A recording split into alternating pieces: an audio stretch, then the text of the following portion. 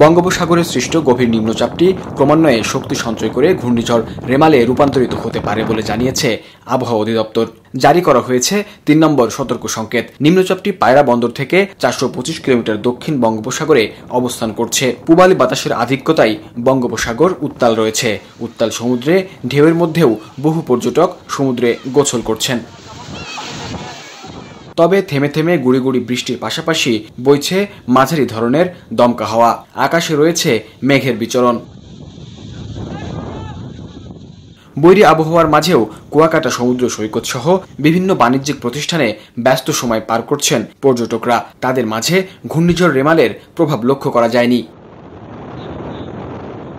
উপকূলের মানুষের মধ্যে ঘূর্ণিঝড় রেমেল নিয়ে তেমন আতঙ্ক দেখা যায়নি। তবে পটুয়াখালী জেলা প্রশাসনের উদ্যোগে দুর্যোগ ব্যবস্থাপনা কমিটির সভা অনুষ্ঠিত হয়েছে। এতে দুর্যোগ মোকাবেলায় স্থানীয় জনপ্রতিনিধি, সিপিপি স্বেচ্ছাসেবকদের সমন্বয়ে একাধিক টিম গঠন করা হয়েছে। জেলা প্রশাসনের উদ্যোগে সাত লাখ টাকা এবং তিনশো টন চাল বরাদ্দ করা হয়েছে।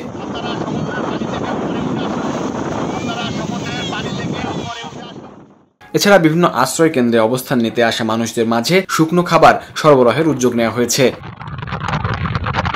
এদিকে বিশটি মুজিব কিল্লা, একশো পঞ্চাশটি আশ্রয় কেন্দ্র সহ কুয়াকাটার আবাসিক হোটেল, মোটেল ও রিসোর্টগুলো প্রস্তুত রাখতে বলা হয়েছে।